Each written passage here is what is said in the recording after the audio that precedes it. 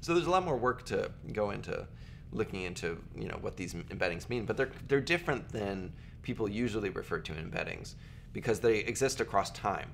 Whereas uh, usually when people refer to embeddings, it's just a single vector for a note.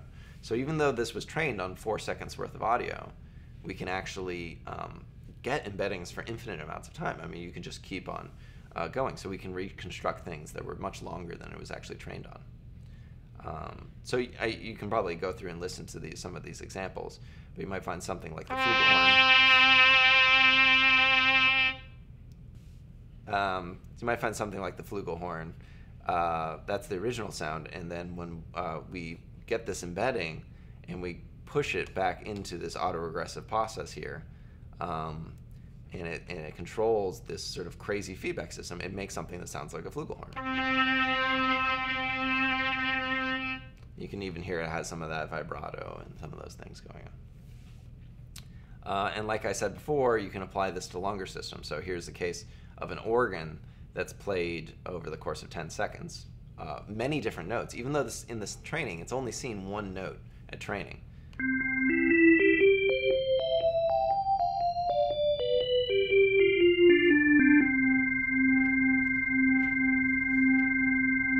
And that last note uh, is actually held out for a lot longer too. So that's outside of what the training was was used to seeing. I did that. That's just a singer's exercise usually, the dun dun dun dun dun dun, dun just for fun. Um, and so you can see now when we pass it through WaveNet, it hasn't seen anything like this, but it does its best job to do it. You see at the note at the note boundaries, it's never seen a note boundary before, but it just sort of glissandos between things because it's like that's the best I can do.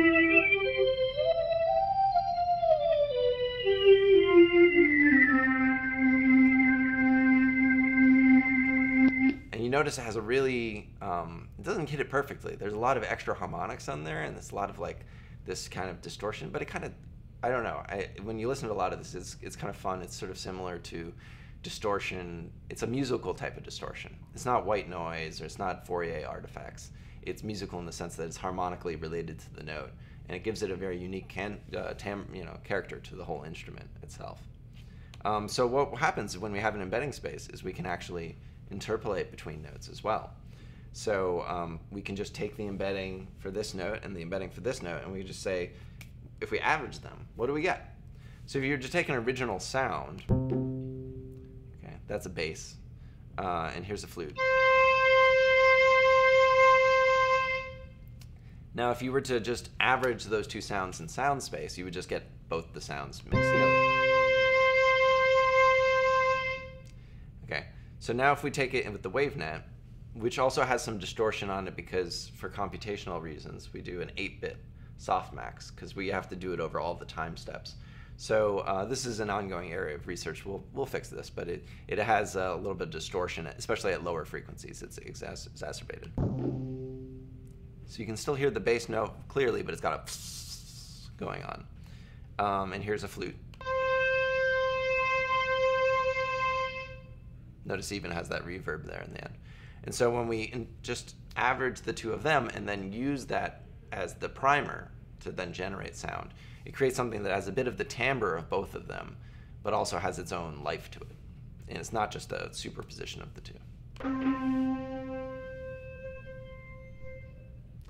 You notice there at the end, it gets that, that sort of upper harmonics and stuff because it's just, it's just um, sort of a it's sort of like a physical model in a system. It's an infinite impulse response filter.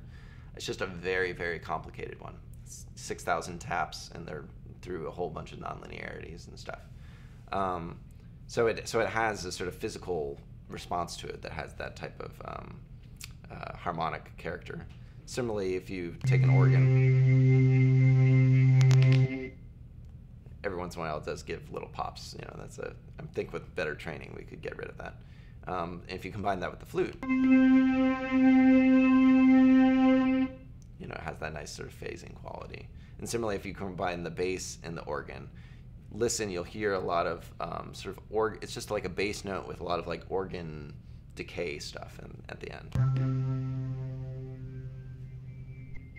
Yeah, all that type of stuff. Cool.